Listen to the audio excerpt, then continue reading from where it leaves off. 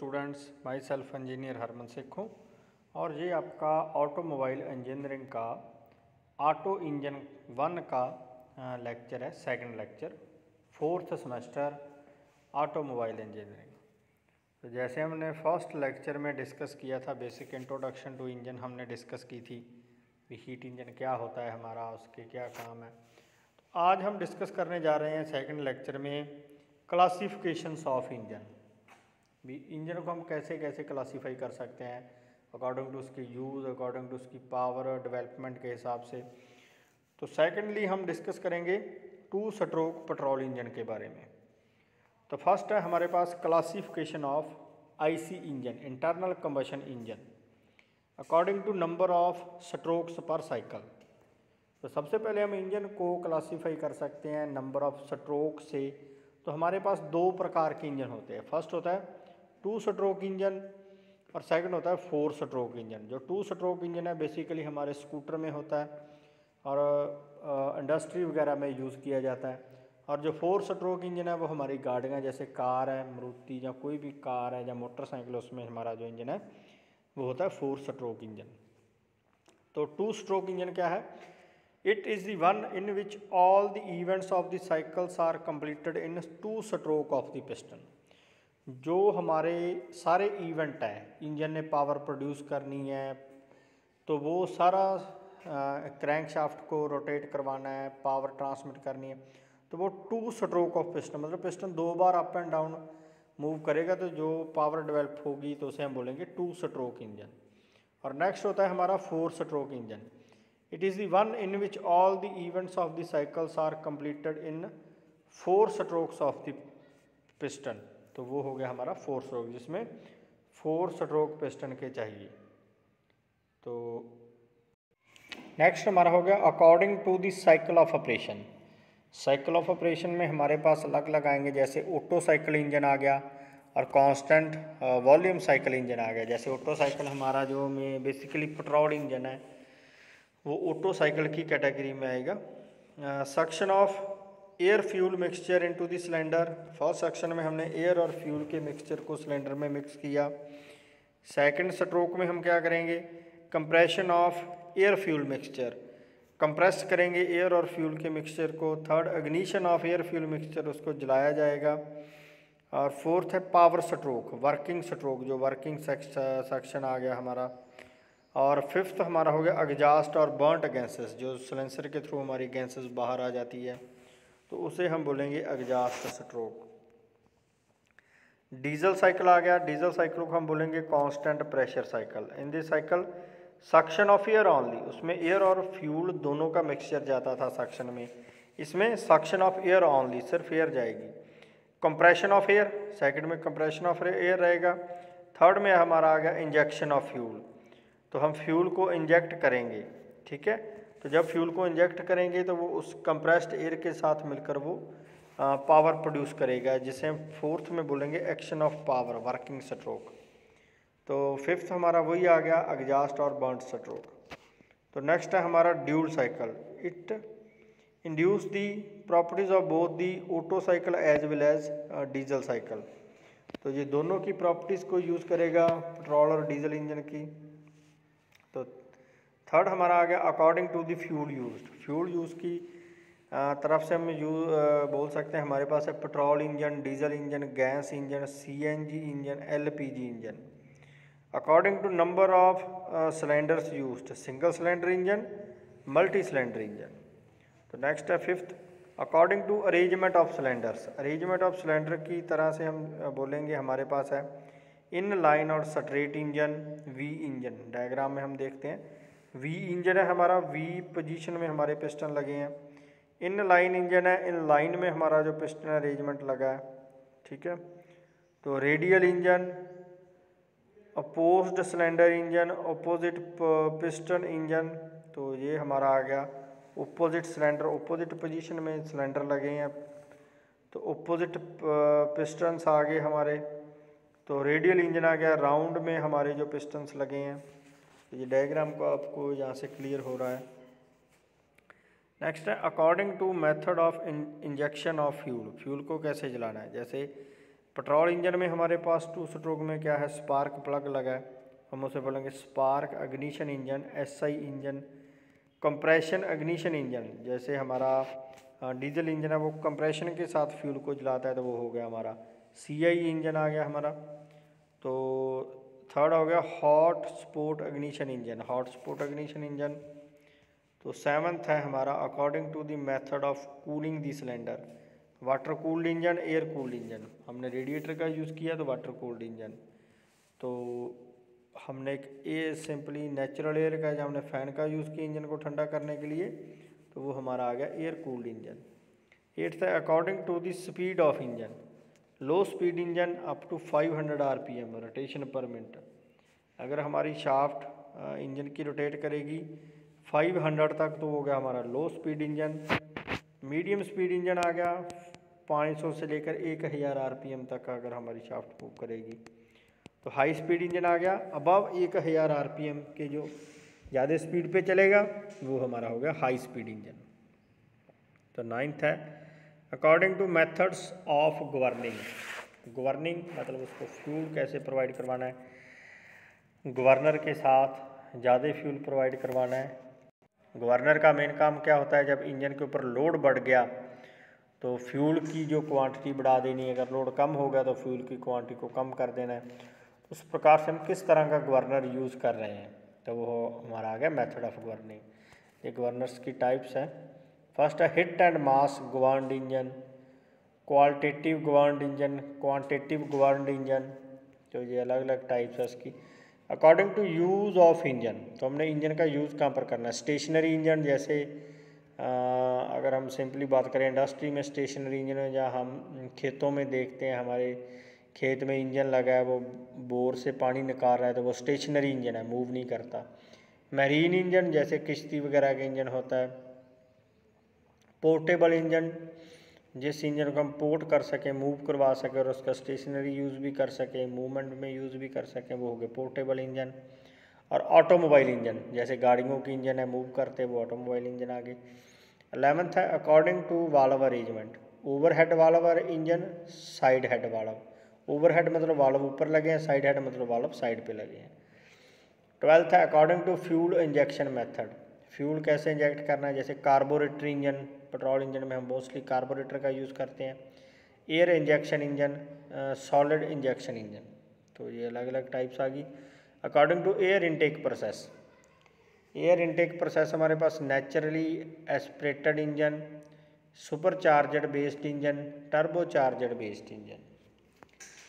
तो एयर को कैसे इनटेक लेकर जैसे जैसे आजकल तो टर्बो इंजन चलते हैं तो उसे टर्बो चार्जड बेस्ड इंजन हम बोलेंगे। तो नेक्स्ट है हमारे पास article working of two stroke petrol engine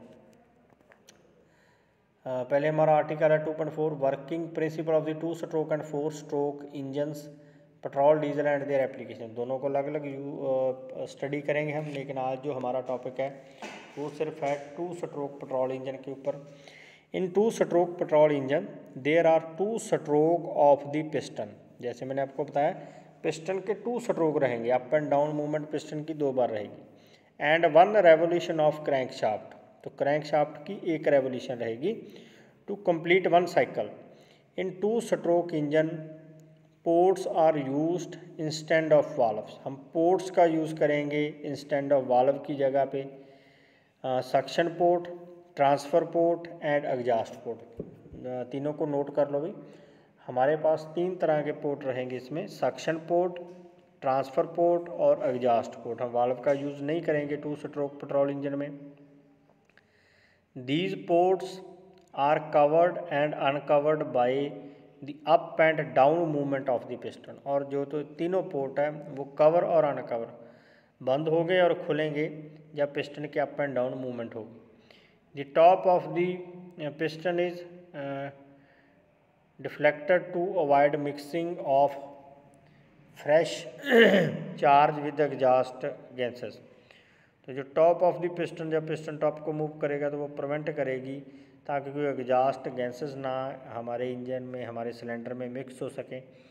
These exhaust gases are expelled out from the engine cylinder by the fresh charge of the fuel entering the cylinder The mixture of the air and petrol is ignited by electric spark producing at the spark plug.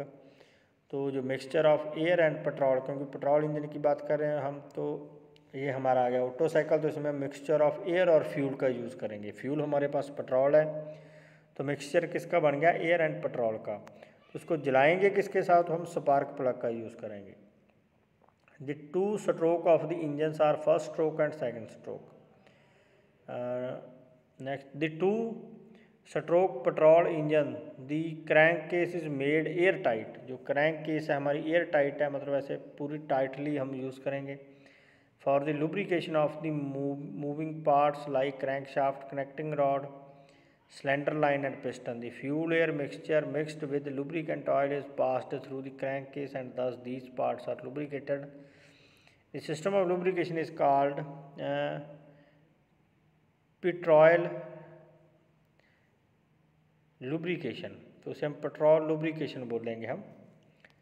तो next हम इसको discuss करते हैं first stroke जैसे हमने बात की थी हमारे पास, सबसे पहले डायग्राम में देखो तीन तरह के पोर्ट हैं। इनलेट पोर्ट एग्जास्ट पोर्ट और ट्रांसफ़र पोर्ट इनलेट पोर्ट को आईपी बोलेंगे।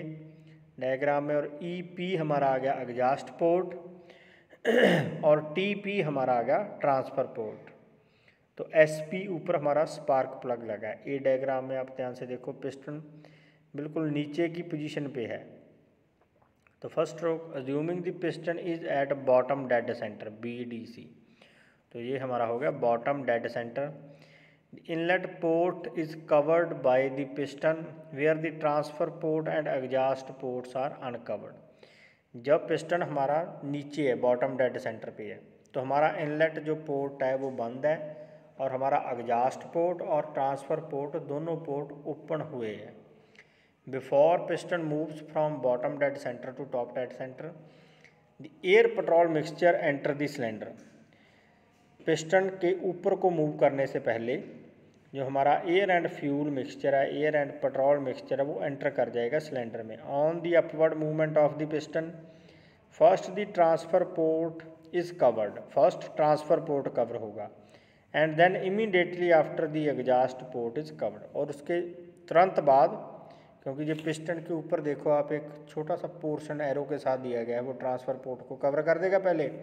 उसके बाद इमीडिएटली हमारा जो एग्जास्ट पोर्ट भी कवर हो जाएगा। साइमल्टेनियसली द सक्शन और inlet port also gets uncovered तो जो हमारा एग्जास्ट पोर्ट है, वो ओपन हो जाएगा इसके साथ ही। तो the upward movement of the piston helps to compress the air fuel mixture at the top and certain particular vacuum at the bottom in the crank case और जब हमारा इनलेट पोर्ट ओपन होगा तो वो नीचे की तरफ़ हमारा एयर और फ्यूल मिक्सचर आएगा तो वो उसको कंप्रेस करेगा। तो वैक्यूम क्रिएट हो जाएगा बॉटम में। This vacuum gets filled with air fuel mixture from the carburettor by the atmospheric pressure The end of the stroke, the piston reaches the top dead center position, uh, completing the compression stroke as shown in figure. तो जैसे B figure में आप देख रहे हो piston हमारा top dead centre पे पहुँच गया है। हमारा एग्जास्ट पोर्ट भी बंद है ट्रांसफ़र पोर्ट भी बंद है। सारा हमारा फ्यूल मिक्सचर जो है नीचे पिस्टन के नीचे जो क्रैंक केस बना है उसमें आ गया। तो उसने आ, हमारे जो इंजन को जो उसमें नीचे हमारा एयर और पेट्रोल मिक्सचर आ गया कार्बोरेटर से, फिर उसको एक कंप्रेस कंप्रेस करेंगे हम। तो नेक्स्ट स्ट्रोक आ गया हमारा सेकंड स्ट्रोक तो उसमें हमारा फ़र्स्ट स्ट्रोक कंप्लीट हो गया। तो just before the completion of the compression stroke the compressed charge is ignited in the combustion chamber by the mean of electric spark producing by the spark plug तो spark plug से जो combustion प्रोड्यू spark produce होगा, उसने हमारे air और fuel mixture को combust कर देना है, जला देना है। Combustion of the air fuel mixture pushes the piston in the downward direction on the power stroke producing the useful work तो उसको डाउनवर्ड को मूव करवाएगा तो यूज़फुल वर्क हमारा प्रोड्यूस हो सके, जो हमें चाहिए। The movement the movement the power action is over the exhaust port is uncovered. The exhaust gases escapely to the atmosphere. Further movement of the piston cover the inlet port and fresh charge is compressed in the crankcase. Simultaneously transfer port is also uncovered. The compressed mixture of the air fuel enter the combustion chamber the deflected shape of the piston avoids the intermixing. तो जब हमारा piston ऊपर से downward position पे आएगा तो वो exhaust port को अनकवर कर देगा। मतलब एग्जास्ट पोर्ट ओपन हो गया तो हमारी फ्यूल गैसेस बाहर निकल गई। इनलेट पोर्ट बंद हो गया, जो नीचे की तरफ़ क्रैंक केस में हमारे फ्यूल गैसेस थे, वो ऊपर ट्रांसफ़र पोर्ट्स के साथ ऊपर को चले गए या हमारा कंबशन चैम्बर जिसे हम बोलेंगे। तो ये हमारी पिस्टन की मूवमेंट होगी, हमारे दोनों स्ट्रोक कंप्लीट हो गए। तो दोनों स्ट्रोक कंप्लीट होने के साथ हमें जो रिक्वायर्ड पावर थी टू स्ट्रोक से मिल गई जैसे हमने फ़र्स्ट ही डिस्कस किया था।